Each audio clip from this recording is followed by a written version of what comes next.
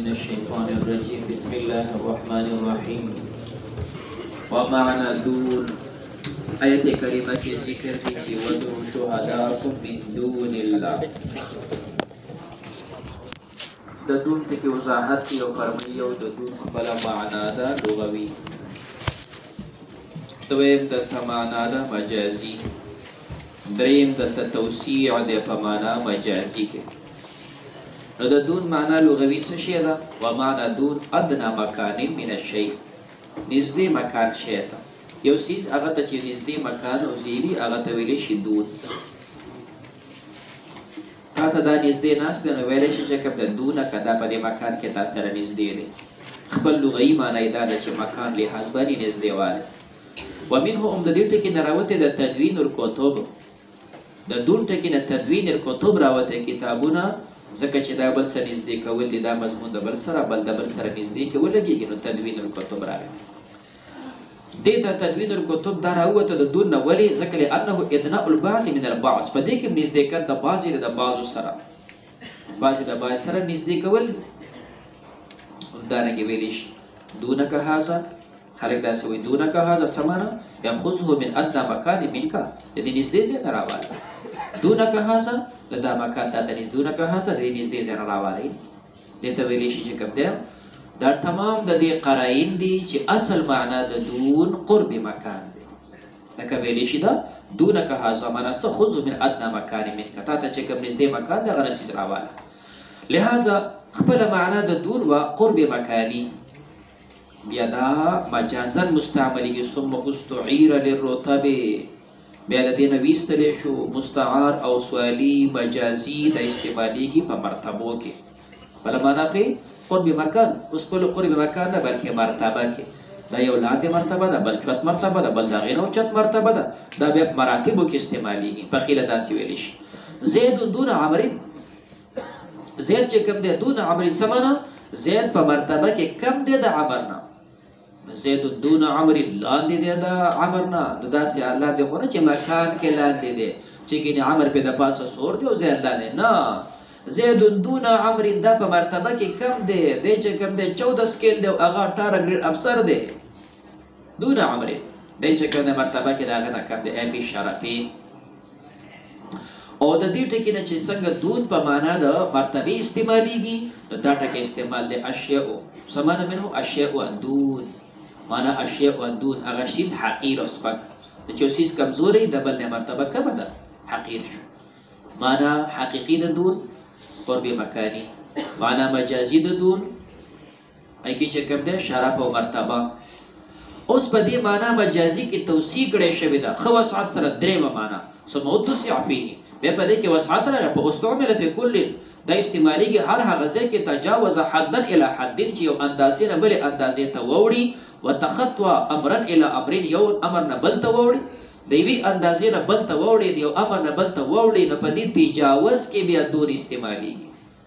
د مجازي مانا کې مرتبه وه، اوس دې مرتبه کې وسعت راغی، نو هر اندازې نه که ته د یو مرتبې نه بل ته اوړې، د یو حد نه بل ته اوړې، د یو امر نه بل ته اوړې، په دې غونډو کې دون استعمالېږي. نو دا پکې وسعت راغی، تجاوز حدا الی حد وتخطا امرا الی امر. الله داسې فرمایي لا یتخذ المؤمنون الکافرین اولیاء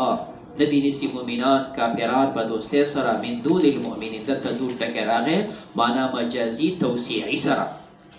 توسیعي معنا و د یو حد نه اخوتل نو څه معنا شوه تاسو کافران مه نیسئ من دون المؤمنین چې تاسو متجاوز شئ ووړئ د مؤمن نه کافر ته دوستانه کې او د مؤمن د دوستاني نه ته ووړئ کافر دوستاني ته نو ما وړه دا دود معنا د یو سیز نه بل ته اخوتل د مؤمن د دوستانه نه د کافر دوستانه ته اخوتل الا تجاوزو د دې تجاوز د نکې چې کوم د ولایت المؤمنین الی ولایت الکافرین دا درې په معنا توسیعی چې هغه دود په معنا د تجاوز دی اخوتل دی د دې معنا په استدلال کې یو شعر ذکر کړي قال امیه امیه کاکا داسې ویلې دی شیعه یا نفسو مالک دون الله من واق یا نفس مالک من دون مالک دون الله من واق ولا للسع بنات الدهر من راق دا انسان د خپل نفس سره خطاب کوي یا نفسو اے نفسه مالکی نبی استاد پارا نفس مؤنث سماعی دی لکی مؤنث نه وي ستا لپاره دون الله چې ته متجاوز شې د الله نه معنی الله دې پرېښود او د دې نه ته واوړې بل خواته دون په معنی تجاوز سره ته الله پرېښود او د هغې نه واخوتلې تجاوز دې وکړو نو ستا دپاره به نه من واک څوک بچ کوونکی چې الله دې پرېښود او بل څه پسې روان شوې بیا دې څوک بچ کوونکی نشته او ولا لنسعي او نشته چې کوم د دپاره د چک لګولو بنات دهر د حوادثو د زمانې من راق سوک دم اچون کې الله د پری خود او بل خوا لاړې او د زمانې چې کوم حوادث دی اغا راشي نو بیا سوچته چې دم دی واچي او تاته نه بچ کی به بل بچ کون کې هم ګره نشته نو دون ته معنا دون په معنا تجاوز اله تجاوز دوی ته تجاوز نه کوي چې کوم دی دینه اذا تجاوزت وقایت الله کله چې ته تجاوز وکې د وقایت د الله نه په الله دې ځان بچ نه کو بل خو روانې نو فلا یقیکا غیره بل څوک دې نشي بچ کولی دا د دون معنا و آیت کریمه کې ذکر دي من دون الله د دون معنی ته ته ذکر کوله په دې باندې داخل دی من حرف جار دا من چې کوم دی په دې کې فرمایي درې احتمال دي احتمال دا دی چې من دا جار مجرور متعلق شي د ادعو سره دیم احتمال دا دی چې دا د حال شي د ادعو د ضمیر نه او دریم احتمال دا دی چې د دې چې کوم د تعلق پیدا شي د شهدا سره دا درې احتمال بیانوي فرمي ومن متعلقه بادعو دا سله د ادعو ګرځوه ادعو تاسو راوبلې شهدا ادعو من دون الله تاسو هغه څوک راوبلې د الله نه سیوا هر کله چې دا تا متعلق کړه د ادعو سره نو اوس دلته د شهدا سمانا ده نو شهدا تا ته آل ته پرون سلور معنی کړي ورته فرمي دلته شهدا په دوه معنی سره غستلې شي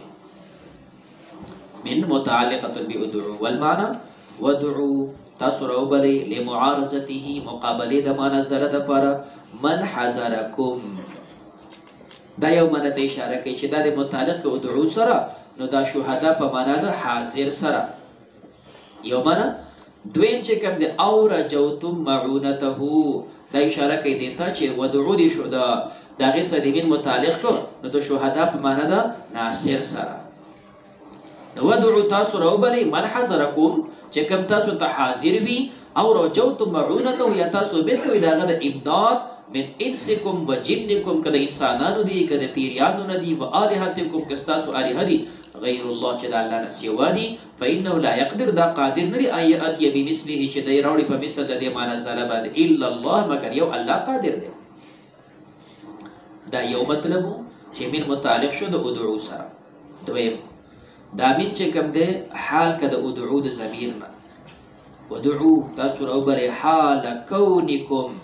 په دې حال کې چې تاسو کائنتا من دون الله تاسو د الله نه سیوای نو دوی معنی ته اشاره کوي فرمایي او ادعو یا تاسو راو بلې من دون الله د الله نه سوا شهدا تاسو چې کوم د خپل شهدا راو بلې دلته مراد چې کله تا دا حال کو نو به شهدا په معنا د گواه سره دی مخکې هم معنا و حاضر مخکې معنا و ناصر اوس دا چې کوم د تا حال کو د ادعو د ضمیر نه به شهدا په معنا ده گواه سره ده تاسو راوبلی من دون الله شهدا د الله نه سوا شهدا راوبلی یشهدون لکم چې هغه تاسو لپاره گواهی وکي بان ما اتیتم د الله نه سوا تاسو بل کس دا سره وري چې هغه تاسو لپاره په دې ښه گواهی وکي یاره موږ د قران مقابله کې صورت جوړ کړه ته په دې گواهی وکړه چې او دا د قران مثال دی داسې ګواهان ځاله پیدا کړي یشهدون لكم بان ما اتیتم به کم چې تاسو جوړ کړی دي د قران مقابله کې هغه ګویو کوي مثله چې دا مثل د قران دی نو دغه سي گواه پیدا کوي ولا تستشهدوا بالله په دې خبره چې تاسو کم د ځان نه دروغ جوړ کړی د قران مقابله کې او ته وی چې الله گواه دی چې دا د الله د مال زله په شان دی نو په دې الله مګواه ولا تستشهدوا تاسو مګواه په دې باندې بالله ولی فانه دا چې الله ګوا کول من دي د مبهوتي دا خو طریقه د هغه چا ده چې هغه مسکوت وي هغه کس چې هغه لا جواب وي العاجز چې عاجز وي عن اقامه الحجه یو سړی خبره کوي نو خپل حجت نشي قائموله خپل خبر نشي کوله یره جی الله گواه دی چې زما خبره رښتیا ده دا خو د عاجز سړي کار دی تاسو چې کوم کلام جوړ کړی دی د الله د کتاب مقابل کې نو بیا ګواه پیش کړه چې او دا د الله د کتاب د فصیح بلیغ مقابله کوي شي خو د سیمه وایي چې ما کوم کتاب جوړ کړی دی دا د منزله مثل دی الله په ګواه دی الله په سره ګواه کې دا خو د عاجز سړي کار دی او به شهدا کوم دا درې احتمال ذکر کړي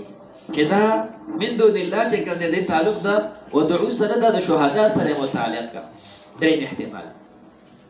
نو معنا او به شهدا کوم یا تاسو را وړ پر شهدا الذين اتخذتموهم هغه کسان چې تاسو نیولې من دون الله اولیاء بدل دا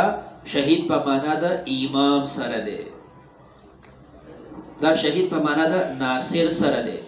نو تاسو روبل هغه کسان اتخذتمو چې تاسو نیولې من دون الله سوا د الله نه اولیاء چې دا تاسو ناصرین دي تاسو نیولې من دون الله الہتن چې دا تاسو چې کوم د امامان دي وزعمتم تاسو ګمان کوي انها تشهد لكم دا بس تاسو ګوي کې یوم القیامه او الذين يشهدون لكم یا هغه چې دوی تاسو د پرګوي کې بین یدای الله دا یو مانا مانا د ناصر چې تر او بل استاس د پاره ګوي وکي او الذين يشهدون دا دویم اشاره کوي چې دلته دون په معنا بین یدای بین یدای معنا سره اولیاء الها زعمتم چې تاسو ګمان کوئ انها تشهد لكم يوم القيامه یومانا او الذين يشهدون لكم بين يدي الله دا اشاره ده چې دا دون په معنا ده بین یدای سره ده او د الله مخکې ګوي وکي علا صاحبکم تاسو په قول باندې بیا دا راوبلې بنا په دې ټکی سره دلته چې کوم د شهدا یو معنا پتا ته وکړه چې من دون الله معنا ته تکولا به د دون یو دوه معنا دلته پیدا کړه چې بین یده معنا ته تا وکړه د الله مخکې کوي آیا دا دون په معنا د بین یده سره راغلی دی نه په دې باندې استشهاد د پاره یو شعر ذکر کړي من قول الاعشا اعشا داسې ویلي توريك القضاء من دونها وهي دونه توريك القضاء من دونها وهي دونه اذا ذاقها من ذاقها يتبتق دا حقیقت کې شاعر د شیشې صفت کوي وای دا شیشه داسې صفا ده کنه دا شیشه ده چې ته پکې ګور بالکل تا ته صفا ښکاري داسې صفا ده چې قضا هغه ورکوټه چخچه ورکوټه چخچه چې بسترګ کې پریوزي دونه ورکوټه چخچه کدا چخچه د شیشې نه په دې طرف وی کنه او ته چې دی خو نه ګوري نو دا دومره صفا ده تا ته به داسې ښکاري چې دا په دې طرف کې دی دا شیشه صفا ده چخچه په هغه طرف ته دی خو ته چې دی خو نو ته ګوري ته داسې ښکاري چې دا زما سیټ نه دی خیال کې راځي خبره دا دومره صفا ده او اوس چې هر کله دا شیشې نه دا چغ چې ستا طرف ته ښکاري نو ته به زه راشه دا جبه مسوک ده کومه چې په دې جبه دا چغ چې راواله نو ته یې ته نه په چبه چټ ترې نه وباسي دا خو د شیشې نه ښکاري